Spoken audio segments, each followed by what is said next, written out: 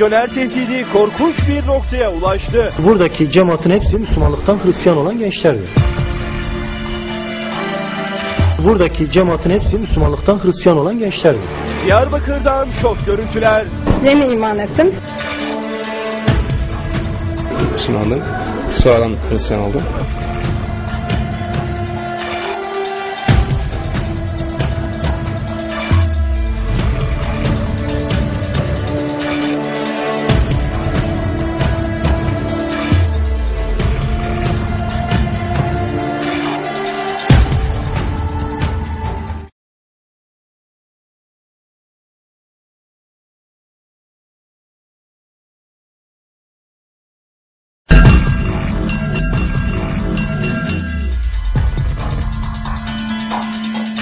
Türkiye günlerdir TV5 Haber'in Mardin'de ortaya çıkardığı caminin kiliseye çevrilmesi olayını ve geniş çaplı manastır kilise restorasyon çalışmalarını konuşuyor. Onlar Avrupa amacıyla şey yapıyorsa biz de tabii Allah'a havale ediyoruz. Ancak Diyarbakır'da ortaya çıkan bu görüntülerde görenleri şaşkına çevirdi. Bu çocuklar Müslüman ailelerin çocukları. Bu papaz yakın zamana kadar Diyarbakırlı Müslüman bir vatandaşımızdı. Ve insanları gerçekten Mesih'e getirmekse ben misyoner. Dinler arası diyalog faaliyetleriyle start alan ve büyük bir tehdide dönüşen misyonerlik çalışmaları. Buradaki cemaatin hepsi Müslümanlıktan Hristiyan olan gençlerdi. Türkiye her geçen gün biraz daha inancından, kültüründen uzaklaştırılıyor.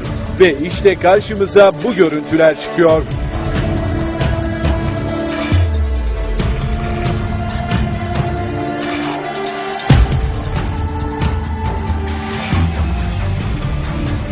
Burası Diyarbakır'da Urfa Kapısı'nın hemen girişinde Süryani Kilisesi'nin karşısında bulunan Protestan Kilisesi. Anormal bir şekilde para teklifi vardır. Adamın zaafından yararlanma vardır. 2003 yılından itibaren yapımına başlanan bu kilisenin papazı ise Ahmet Güvener isimli sonradan Hristiyan olmuş bir vatandaş. Benim Hristiyanlığa, Hristiyanlığa ilgi duymam Kilisede röportaj teklifimizi kabul eden Ahmet Güvener muhabirimizle sohbet ederken kameralarımıza bu şok görüntüler takılıyor. Pazar ayininden çıkan bu çocuklar birer birer kafeterya bölümüne doğru yanaşıyor. Aralarında yabancı uyruklu olanları da dikkat çekiyor. Kameralarımızı fark eden bazı çocuklarsa gizlenmeye çalışıyor. Ama dikkat edin bu kadının kucağındaki çocuk sizce kaç yaşında? Peki ya diğerleri? Sanki kilise değil de ilk öğretim okulu gibi.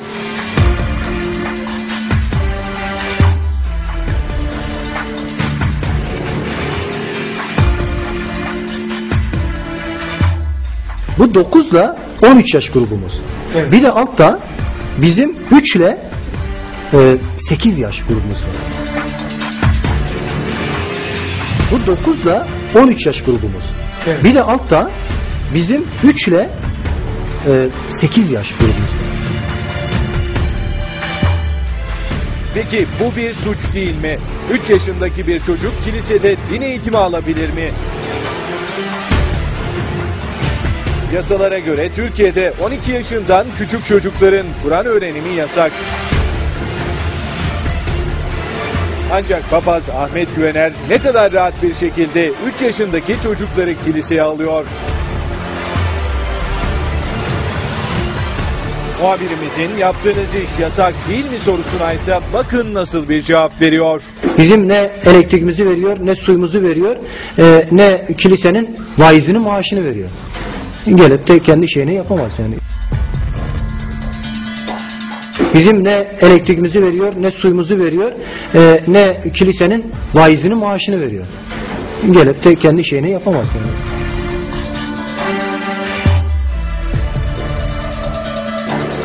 Burak Diyarbakırlı Müslüman bir ailenin çocuğu. Ama misyonerlerin tuzağına düşen Burak şimdi dinini değiştirmiş. Bir yıl oldu benim Hristiyan oluşum. Daha önce Müslüman mıydın? Evet, Müslümandım. Sonradan Hristiyan oldum. Gülistan, Ahmet, Ayşe, Fatma ve daha böyle birçok isim de tıpkı Burak gibi kandırılmış. Yeni iman ettim. Ne zaman? Birkaç ay oldu diyeyim. En başta bir hocayla buraya geldik. Sonra da buradaki insanları gördük. Onlar gerçekten Mesih'in aşkıyla yanıyorlar ve Mesih onların yüreklerine dokunmuş. Bunu hayatlarında görmek çok güzel. Daha önce Müslümandım. Ama 4 aydır gerçekten yani çok daha iyi. Bu hayret verici görüntüleri gördükten sonra misyonerlik faaliyetlerinin artış göstermesine yönelik eleştirilerin ne kadar haklı olduğu, endişelerin bir vehimden ibaret olmadığı apaçık ortaya çıkıyor. Şu anda 70'e yakın bir cemaat var. Bunlar Müslüman olup sonradan Hristiyan olan 70 kişi. Tabii. Bu kişinin adıysa Timi. Sorularımızı serin kanlılıkla cevaplayan Timi Türk değil. O siz buralı değilsiniz herhalde. Burada değilim. Ya. Nerelisiniz? Nereden Ben buraya Montana'dayım. Nedendir bilinmez ama Amerika'dan kalkıp da Diyarbakır'a taşınmış ve kendini dinine adamış. Tıpkı İsveç'ten kalkıp Mardin'e gelen Hristiyanlar gibi. Ben buraya kiliseye hizmet etmeye geldim. Yani kilise, kilisede bir e, ihtiyaç duydum, gördüm. O- Onlar beni çağırdı, ben geldim. Protestan Kilisesi'nin vaizi Ahmet Güvener'in şu açıklaması ise çok önemli. Zira Diyarbakır'da, Urfa'da, Adıyaman'da, Mardin'de artış gösteren misyoner faaliyetleri ve toprak satışının hangi amaca hizmet ettiği bu açıklamalardan sonra çok net anlaşılıyor. Bütün uluslar İsrail'e saldır, saldıracak. Bu Tevrat yazıyor. Yani şey bütün kutsal kitap yani şey anlatıyor ve esirleme en sonunda anlatıyor. Ve o zaman İsa Mesih nasıl Musa denize yardıysa İsa Mesih dağı yaracak ve İsrail oradan kaçacak.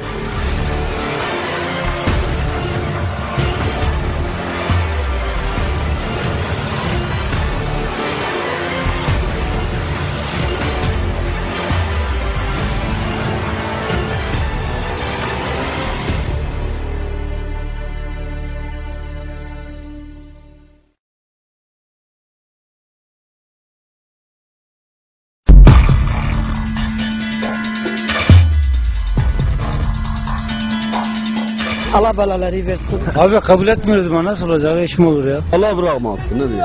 Bence bu e, çocukların ailesi yani sorumlu. Yani çocukları neden öyle bir şeyle ilgileniyor? Urfa kapısının önünde sorularımızı yanıtlayan vatandaşlar kendi şehirlerinde bir kilisede çekilen bu görüntüleri kabullenemiyor. İnsanı ancak parayla kandırırlar. Başka ne olur? Valla ben kabul etmezdim.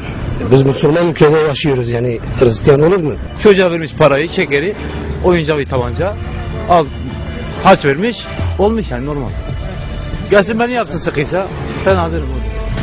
Protestan Kilisesi'nin hemen yakınında oturan ve mikrofonumuza konuşan bir çocuksa arkadaşlarının para karşılığı kiliseye gittiklerini iddia etti. Para veriyorlarmış. Dinini satmak. Dinini satmak için. Benim diyor Hı hı. Öyle diyor. Var arkadaşlar var. Şeyden. Para için yani dinini satıyor. dinini satıyor işte. Aylık para veriyor. ihtiyacını veriyor işte. Hı hı. Bu skandala ilk tepkisi Saadet Partisi Diyarbakır İl Başkanı Ali Rıza Güran'dan geldi. Olayın büyük ölçüde ekonomik nedenlere bağlı olduğunu söyleyen Güran, çarpıcı açıklamalarda bulundu. Argane'den çimento fabrikası. Argane yol üzerinden Temsan Sanayi Fabrikası. Argane yol üzerinden iplik fabrikası. Efendim tütün fabrikası, süt, yem, et, balık bunlar hepsi Erbakan hocamızın döneminde Diyarbakır'a kurulmuş fabrikalar. Şu anda o fabrikaların içerisinde satılmayan bir tek Temsan Sanayi Fabrikası o da türbin e, konusundan faaliyettedir. Özelleştirme adı altında dediler. Bu fabrikaların temelini sattılar. Zengin insanlar da gelip Doğu ve Güneydoğu'da hiçbir yatırım yapmıyorlar. Bu ne olacak şimdi tütünü serbest etmezsen, pamuğu serbest etmezsen, kota kaldırmazsan kesinlikle bu iş ya hırhızlıktır ya kapkaçtır veyahut da kiliseye gidecektir.